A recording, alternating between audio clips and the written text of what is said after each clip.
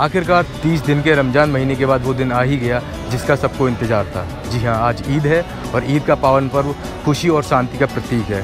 हम आपको बता दें कि आज के दिन लोग एक दूसरे के गले मिलकर बधाइयाँ देते हैं और बड़े ही हर्षोल्लास के साथ ईद को मनाते हैं। आज मैं मौजूद हूँ दिल्ली की जामा मस्जिद में, जहाँ मैं लोगों से जानूँगा कि ईद को लेकर उनकी क्या क्या तैयारियाँ हैं।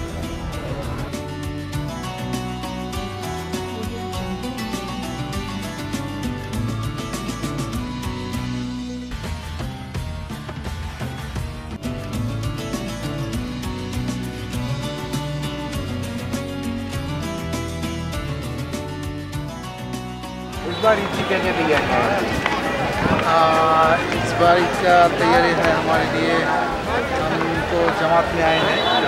जमात में तो हम लोग सब लोग एक साथ मिलकर ये जो कुत्ता है वो बनाए हैं ईद के लिए।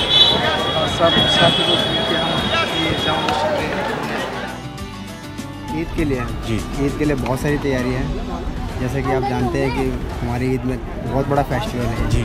और इसको हम बहुत धूमधाम से मनाते हैं। हम जितने भी मुसलमान भाई लोग हैं और जितने भी हिंदू लोग भी हैं तो हम लोग बहुत अच्छे तरीके से मनाना चाहते हैं और चाहते हैं कि इसमें ज़्यादा से ज़्यादा लोग भी इससे वो माने और इस चीज़ को ज़्यादा वो करें। ईद पे हम लोग सेवैयाँ बनाते हैं। जी। उसके बाद ईद की नमाज़ के बाद हम लोग सबसे मिलते हैं गले मिलते हैं। मतलब आपस में जो भी मतलब जिसको हम नहीं भी जानते हैं उनसे भी ईद में भाईचारा का त्यौहार एक खुशियों का त्यौहार है। सब लोग मिलजुल कर इसको मनाते हैं। और आपस में कोई भी किसी से झगड़ा दुश्मनी या कुछ हो तो वो उस दिन सब लोग मिलजुल के खुशियाँ मनाते हैं।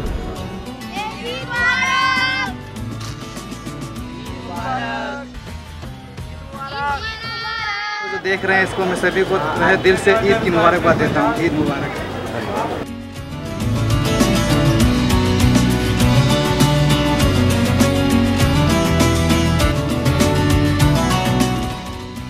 तो जैसा कि आपने देखा कि ईद के त्यौहार को लेकर लोगों में कितना खुशी का माहौल है। मेरी तरफ़ से नव भारत टूडे की पूरी टीम की तरफ़ से आपको ईद की बहुत बहुत मुबारकबाद। मैं आशीष कुमार, कैमरा पर्सन राहुल के साथ, न्यू दिल्ली।